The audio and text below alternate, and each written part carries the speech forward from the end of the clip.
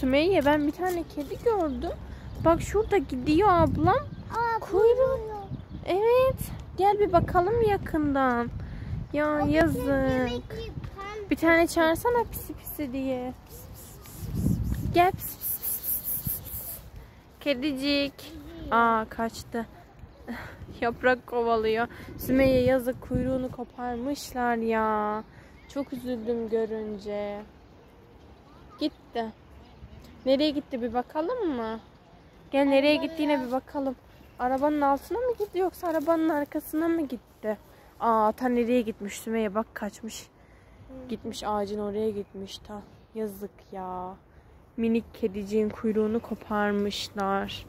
Çok üzüldüm.